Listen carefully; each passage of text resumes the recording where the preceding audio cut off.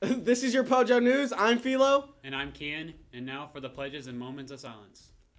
Please stand for the pledges.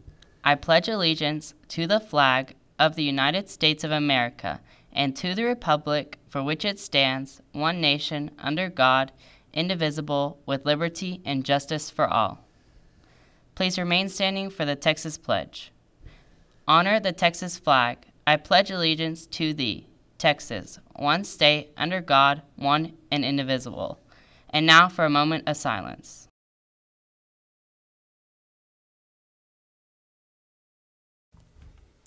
Now for the sports. We have the boys and girls basketball teams playing at Decatur tonight.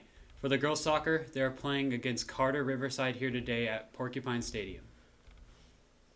In the fine arts department, our color guard will be showing its community performance called The Duke's Place at 7 p.m. It will be held at the Hinkle Gym at the SES campus.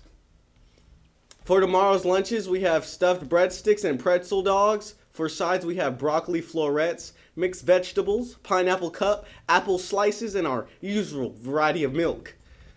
SHS Spring Driver's Ed class will begin on February 7th. We will meet daily in the library beginning at 6:45 a.m. You must be at least 15 years or older to by the end of the school to attend. This will be the final class of the year.